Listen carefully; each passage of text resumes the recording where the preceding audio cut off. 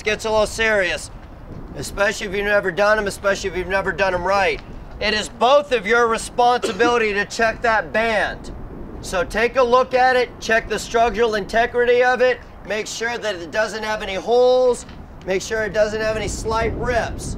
Obviously, it's going to be more important for one of you than it is the other. Now, it is also your responsibility if you guys watch. Take a look. When you guys set up, we're looking for two hands or one hands to wrap and rewrap. Wrap and rewrap. I personally, even if you go two hands, oftentimes your grip will fail you. So I'll go single arm through, reset it in my palm, and then recompose over top to make sure that I've got a firm grasp of this. Now, it is my job, it is my responsibility. His health and well-being and welfare are in my hands, but I would actually make sure. I would turn around and look at my hands. I would not rely on just me, correct?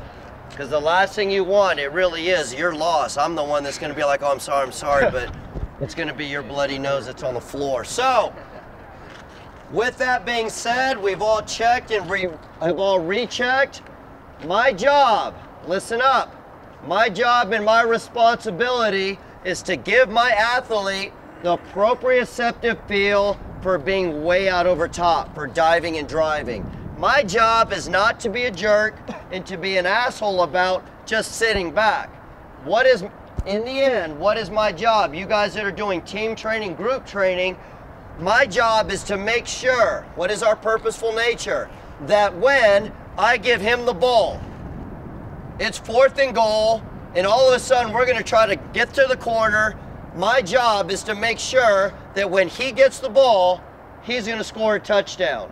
Or when all of a sudden we've got a goal line stand and they try to run a sweep on us, my job right now is to help him develop the ability to accelerate, which means my job is not to sit here and go ahead and do a nice easy run. My job is not to be like, yeah, look at this. And I'm pulling so hard, he looks like he's running through mud. Because in the end, what does that do for his sprinting performance?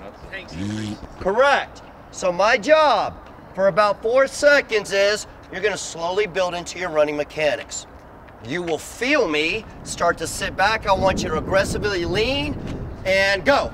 Sprint, sprint, sprint, sprint, sprint, sprint, and stop. Awesome job. Roughly about 10 yards. 10 yards, about four seconds of going hard, going fast is all you really need. So what we tell people, five yard buildup, let them feel that tension, let them feel that tension, let them feel that tension. And my job is just to pull hard enough where they can feel that aggressive lean, that headway out over top, and those force producers driving chunks of this asphalt up. Got it? All right, give it a shot. Smoothly, now start to lean, now push, push, drive, diving drive, diving drive, diving drive. Smooth build up, smooth build up, slowly picking your speed up, picking your speed up. Now diving drive. Drop your chest, smooth, easy. Now diving drive, push, push, push, push. A little quicker, a little quicker, a little quicker. Now diving drive, go. Push, push, push, push. Run away from him.